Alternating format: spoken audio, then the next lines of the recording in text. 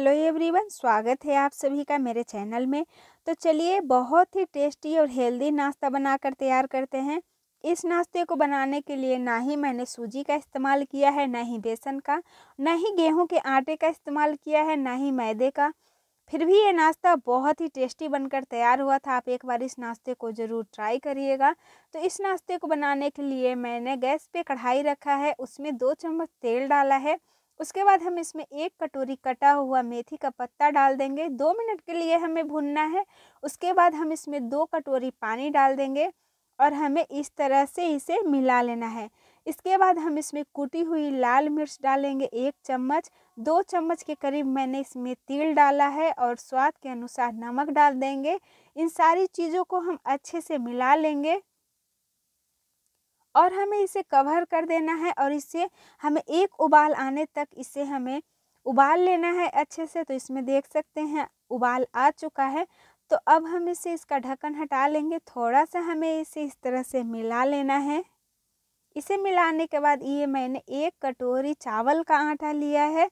तो हमें थोड़ा थोड़ा करके इसमें डाल देना है और इसे हमें लगातार चलाते हुए पकाना है ताकि हमारा चावल का आटा कढ़ाई में चिपके ना और गुठली ना बने।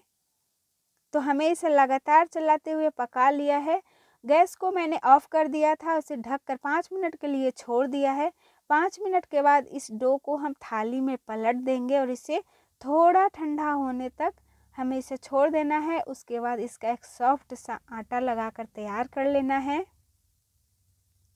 ये नाश्ता दोस्तों बहुत ही टेस्टी और हेल्दी है। आप इस एक बार ज़रूर ट्राई करिएगा। तो इसमें से छोटी छोटी लोई ले लेना है इस तरह से। लोई लेने के बाद इस सूखा आटा डालकर इस तरह से हमें हाथों की मदद से इसे हम फैला लेंगे। इसके ऊपर मैंने थोड़ा सा तिल चिपका दिया इस तरह से। और इसी इसी तरह से हमें हाथ से इसे फैला लेना है। तवा गरम होने के लिए मैंने रख दिया है। तो अब हम इस रोटी को इस तवे पर इस तरह से डाल देंगे और दोनों तरफ़ से अच्छे से हमें इसे कुक कर लेना है। तो नीचे की तरफ़ से ये पक चुका है तो हम इसे पलट देंगे। इसी तरह से उलट पलट कर हमें इसे पका लेना है। तो मैंने इस पर घी डाला है और इसे हम अच्छे से सेक लेंगे। आप चाहें तो तेल भी डाल सकते हैं। ये नाश्ता बहुत ही जल्दी बनकर तैयार हो जाता है। दोस्तों, आप एक बार ज़रूर ट्राई करिएगा।